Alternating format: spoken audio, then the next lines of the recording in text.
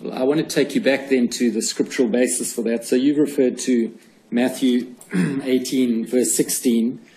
And as I understand it, and correct me if I'm wrong, that, that in turn really is a reference back to Deuteronomy 19, verse 15. In other words, what uh, Jesus Christ was doing is referring back to that aspect of Mosaic law dealing with evidence.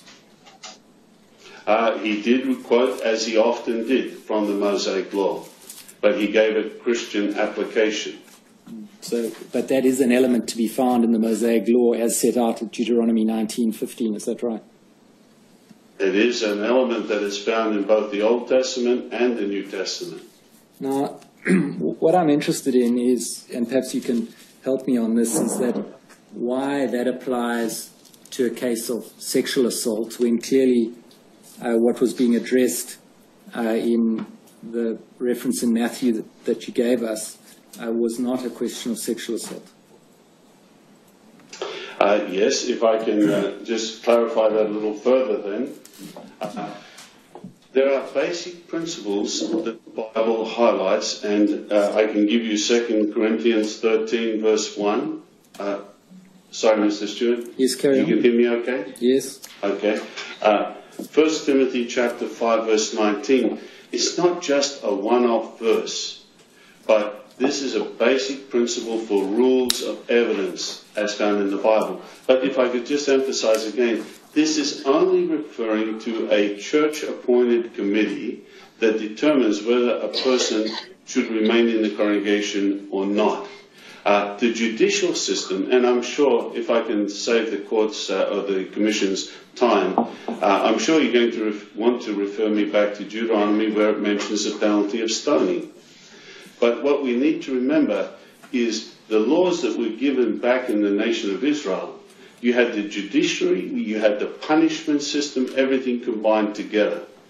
When the Christian arrangement came about, with our Lord Jesus Christ giving us direction, uh, the Christian church does not have the authority to throw people into prison, to execute, or to do anything to them.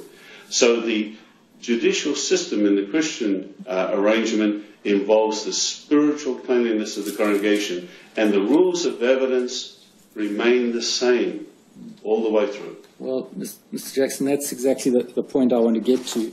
You'll be familiar, and perhaps we can we can go to, to Deuteronomy 22, uh, 23 to 27. Deuteronomy 22, 23 to 27. Page 304. Mm-hmm. So, where it said that if a man is found lying down with a woman who is the wife of another man, both of them must die together. Now, let me just preface this. I'm not addressing the question of the stoning, I'm addressing the question of evidence. Um, the man who lay down with the woman as well as the woman, uh, sorry, I, I, read that badly. Both of them must die together. The man who lay down with the woman as, as well as the woman. So you must remove what is bad out of Israel. Then it says, if a virgin is engaged to a man and another man happens to meet her in the city and lies down with her, you should bring them both out to the gate of that city and stone them to death.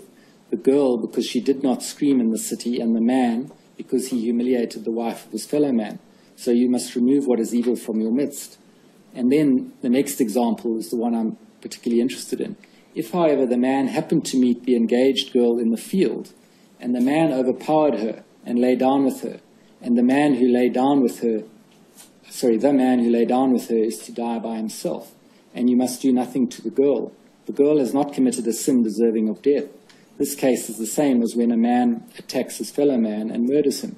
For he happened to meet her in the field, and the engaged girl screamed, but there was no one to rescue her. So the point of this uh, last example is that uh, there's no second witness, is there? Because the woman's in the field, she screamed, but there was no one to rescue her. Do you accept that?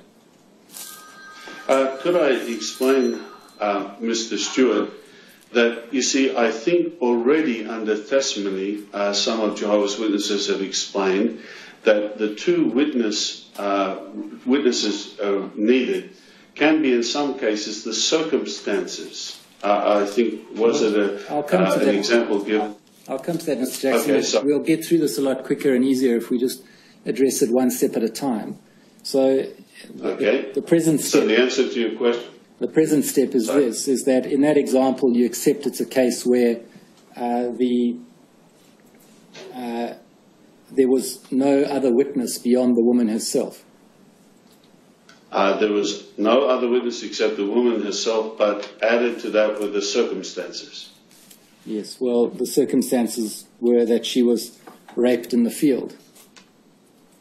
And, yes, but they were circumstances. and it was sufficient, there being only one witness, it was nevertheless sufficient for the conclusion that the man should be stoned to death. Mm-hmm. yes. Now, is it I think we're agreeing on the point. yes, is it not the case that had Jesus been asked about a case of sexual abuse, he may have referred back to this part of Deuteronomy and said that it's not required to have two witnesses. Um, I certainly would like to ask Jesus that, and I, I can't at the moment. I hope to in the future. Uh, but uh, uh, that's a hypothetical question, which we, if we had an answer, then we could support what you said. Well, it's hypothetical in a sense, but really what I'm, I'm driving at is is the scriptural basis, and, and you, the scholar, I'm not, uh, is the scriptural basis to the two witness rule uh, really so solid, or is there not space for your governing body to recognize that in cases of sexual abuse, uh, it need not apply? Uh, again, if I could just mention the fact that, uh, that we've already acknowledged that circumstances can also be one of the witnesses. Well, I'll, I'll come to that, but my, my, my question is a different one. It's whether the scriptural basis to, to the two witness rule in relation to cases of sexual abuse has a proper foundation. Uh, we believe it does because of the number of times that that principle is emphasized in the scriptures.